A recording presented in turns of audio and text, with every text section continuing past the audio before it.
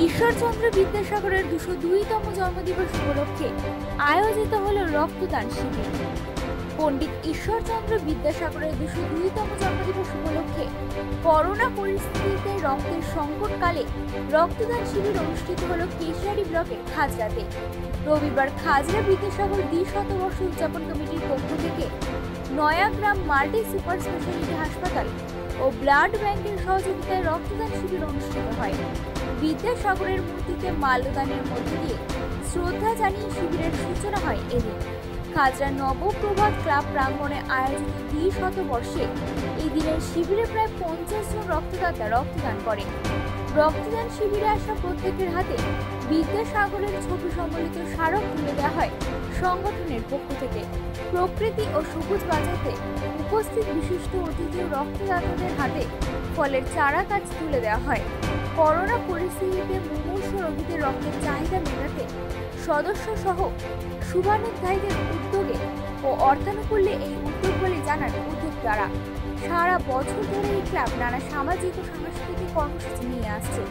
তারই ধারাবাহিকতায় এদিনের এই শিবিরের আয়োজন বলে জানান উদ্যোক্তারা।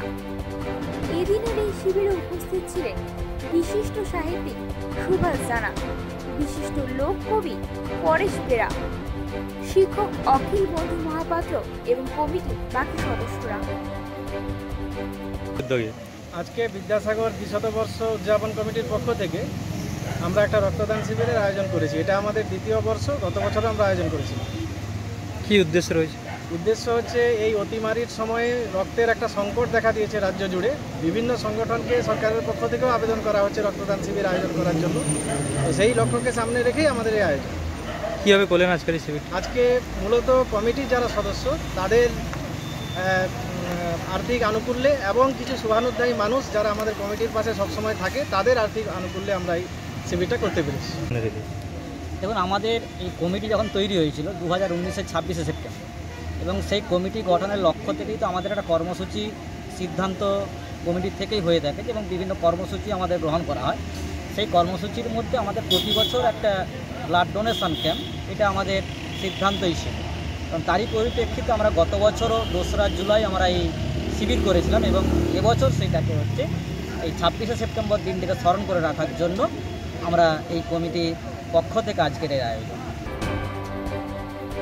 কিশারি থেকে শান্তিপুর রায়ের রিপোর্ট, টাইমস বাংলা।